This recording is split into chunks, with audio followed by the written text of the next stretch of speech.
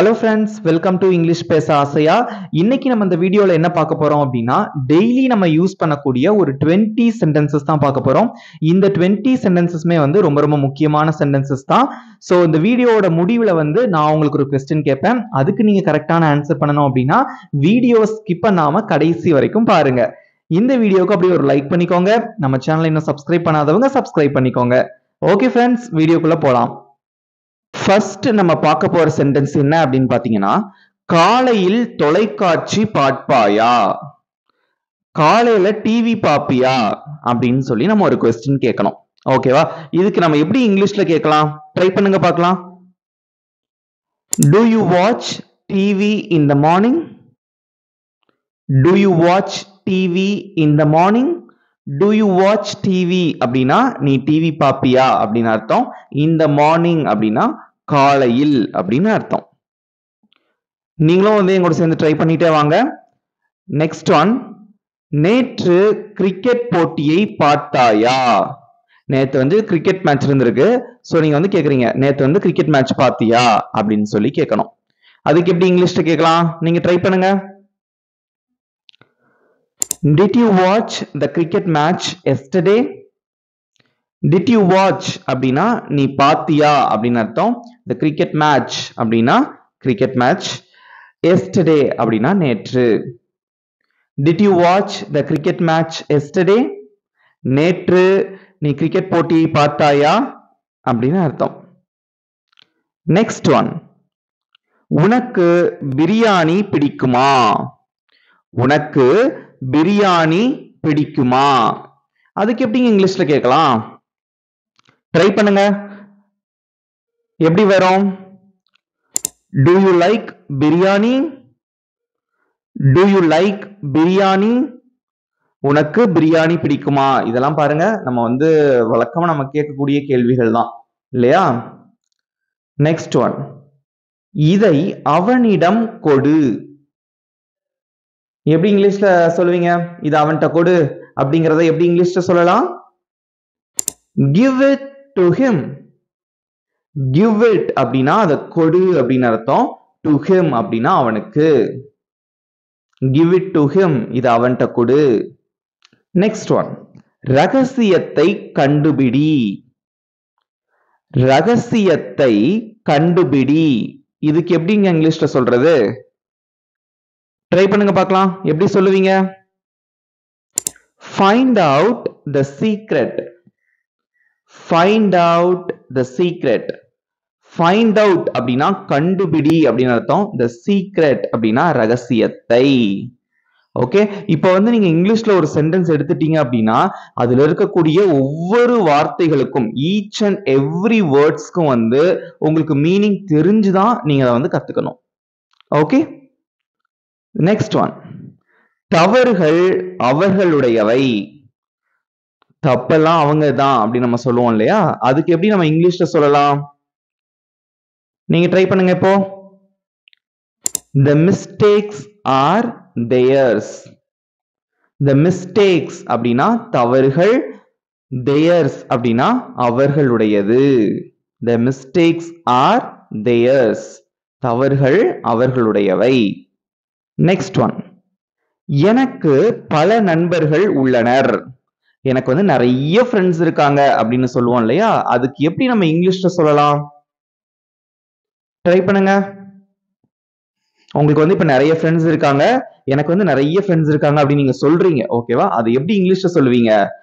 I have many friends I have many friends many friends அப்படின்னா பல நண்பர்கள் அப்படின்னு அர்த்தம். நெக்ஸ்ட் ஒன் இது அவனுடைய குற்றம். இது அவனுடைய குற்றம். ஓகேவா இப்படின்னு நம்ம சொல்லணும். அதுக்கு எப்படி நம்ம இங்கிலீஷ்ல சொல்லலாம்? ட்ரை பண்ணுங்க பார்க்கலாம்.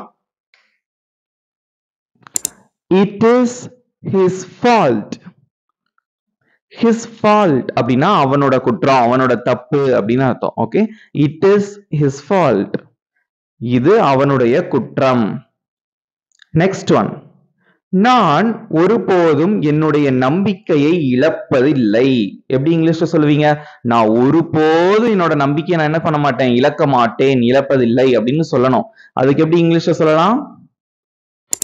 I never give up my hope I never give up அப்படின்னா எனது ஒருபோதும் நான் என்ன பண்ண மாட்டேன்? இழக்க மாட்டேன். எதை? மை ஹோப் என்னுடைய நம்பிக்கையை. ஓகே இங்கிலீஷ் அப்படிங்கிறது ஒரு எக்ஸ்பிரசிவ் லாங்குவேஜ் நல்லா எக்ஸ்பிரஸ் பண்ணி நீங்க வந்து பேசணும். ஓகேவா I never give up my hope நான் ஒருபோதும் என்னுடைய நம்பிக்கையை இழக்க மாட்டேன். நெக்ஸ்ட் ஒன் நீங்கள் யாரை சந்தித்தீர்கள்? நீங்கள் யாரை சந்தித்தீர்கள்? அதுக்கு எப்படிங்க இங்கிலீஷ்ல சொல்றது? ஈஸி தான். Whom did you meet whom அப்படின்னா யாரை அப்படின்னு அர்த்தம். டிட் யூ மீட் அப்படின்னா நீங்க சந்திச்சீங்க அப்படின்னு அர்த்தம். ஹூம் டிட் யூ மீட் நீங்கள் யாரை சந்தித்தீர்கள் அப்படின்னு அர்த்தம். நெக்ஸ்ட் ஒன் இங்கே என்ன நடந்து கொண்டிருக்கிறது? இங்க என்னப்பா நடந்துட்டு இருக்கு அப்படி நம்ம கேட்போம் இல்லையா? அதை எப்படி இங்கிலீஷ்ல கேட்பீங்க? What is going on here what is going on அப்படின்னா என்ன நடந்துட்டு இருக்கு அப்படின்னு அர்த்தம். ஹியர் அப்படின்னா இங்கே. What is going on here இங்கே என்ன நடந்து கொண்டிருக்கிறது அப்படின்னு அர்த்தம். நெக்ஸ்ட் ஒன் நீ இப்போது வேலையாக இருக்கிறாயா? நீ இப்ப வேலையா இருக்கியா? அப்படின்னு மத்தவங்ககிட்ட கேட்போம். இல்ல நீ இப்ப பிஸியா இருக்கியா? அப்படின்னு மத்தவங்க கிட்ட கேட்போம் இல்லையா? அது எப்படிங்க இங்கிலீஷ்ல கேக்குறது? நீங்க ட்ரை பண்ணுங்க பார்க்கலாம். உங்களுக்கே தெரிஞ்சதுதான் நீங்களும் வந்து ட்ரை பண்ணி பாருங்க. எப்படி கரெக்டா கேட்கலாம்? Are you busy right now are you busy அப்படின்னா நீ பிஸியா இருக்கியா? இல்ல வேலையா இருக்கியா? அப்படின்னு அர்த்தம். ரைட் நவ் அப்படின்னா இப்பொழுது. Are you busy right now நீ இப்பொழுது வேலையாக இருக்கிறாயா? நெக்ஸ்ட் ஒன் நான் ஆங்கிலம் கத்துக்கணும். நான் இங்கிலீஷ் கத்துக்கணும் அப்படின்னு நம்ம சொல்லுவோம் இல்லையா? அது எப்படிங்க இங்கிலீஷ்ல சொல்றது? I have to learn English have to அப்படின்னா நான் ஒரு விஷயத்த பண்ணணும் அப்படின்னா அந்த இடத்துல நீங்க ஹாவ் டு யூஸ் பண்ணணும். ஓகேவா I have to learn English நான் ஆங்கிலம் கத்துக்கணும்.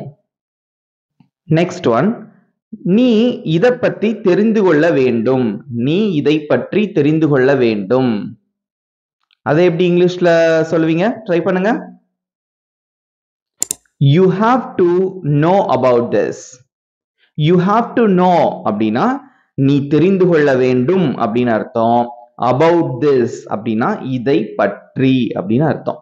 You have to know about this நீ இதை பற்றி தெரிந்து கொள்ள வேண்டும் அப்படின்னு அர்த்தம். நெக்ஸ்ட் ஒன் நாங்கள் வழக்கமாக அங்கே போவோம். பொதுவாக சொல்லுவோம்ல நாங்கள் வழக்கமாக அங்கே போவோம் அப்படின்னு சொல்லுவோம். அதை எப்படி இங்கிலீஷில் சொல்லலாம்? எங்க நீங்க ட்ரை பண்ணுங்க பார்ப்போம். எப்படி சொல்லுவீங்க? We usually go there usually அப்படின்னா வழக்கமாக அப்படின்னு அர்த்தம். கோ தேர் அப்படின்னா அங்க போவோம் அப்படின்னு அர்த்தம். We usually go there next one நீதான் அத சொன்ன. நீதான் அத சொன்ன. அதை எப்படி இங்கிலீஷ்ல சொல்லுவீங்க? டெய்லி நம்ம இதெல்லாம் சொல்றதுதான் இல்லையா? எப்படி சொல்லுவீங்க? You only told that you only அப்படின்னா நீதான் டோல் தட் அப்படின்னா அத சொன்ன அப்படின்னு அர்த்தம். நெக்ஸ்ட் ஒன் அதுக்கு நான் பொறுப்பில்லை. அதுக்கு நான் பொறுப்பில்லை. அதுக்கு எப்படி இங்கிலீஷ்ல சொல்லுவீங்க? ட்ரை பண்ணுங்க. I am not responsible for that I am not responsible அப்படின்னா நான் பொறுப்பில்லை அப்படின்னு அர்த்தம். ஃபார் தட் அப்படின்னா அதுக்கு அதுக்கு நான் பொறுப்பில்லை. I am not responsible for that next one உனக்கு எப்படி தெரியும்? உனக்கு எப்படி தெரியும்? எப்படி இங்கிலீஷ்ல கேட்பீங்க சிம்பிள் தான். ட்ரை பண்ணுங்க.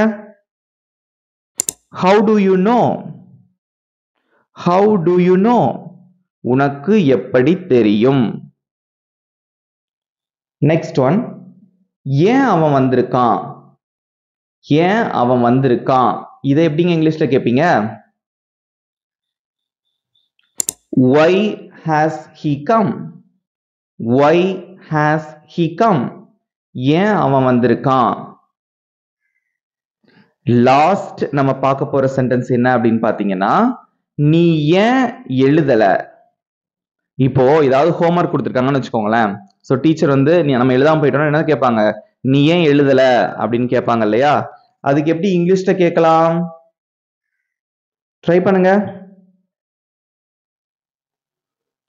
Why didn't you write why didn't you write நீ ஏன் எழுதலை? அப்படின்னு அர்த்தம். ஓகே ஃப்ரெண்ட்ஸ் இவ்வளோதான் வந்து இந்த டுவெண்ட்டி சென்டென்சஸ் ஈஸியாக இருந்ததா? நான் உங்களுக்கு கடைசியாக ஒரு கொஸ்டின் கேட்பேன்னு சொல்லியிருந்தேன். இப்போ உங்களுக்கான கொஸ்டின் உனக்கு பிரியாணி பிடிக்குமா? உனக்கு பிரியாணி பிடிக்குமா? இதை எப்படி இங்கிலீஷில் கேட்பீங்க அப்படிங்கிறத காமெண்ட்ல மென்ஷன் பண்ணுங்க. ஓகே ஃப்ரெண்ட்ஸ் இதே மாதிரி இந்த டுவெண்ட்டி சென்டென்சஸ் யூஸ் பண்ணி பேசி பாருங்க. இங்கிலீஷ் அப்படிங்கிறது ரொம்ப ரொம்ப ஈஸி இந்த வீடியோ பிடிச்சிருந்தா மறக்காம ஒரு லைக் பண்ணிக்கோங்க.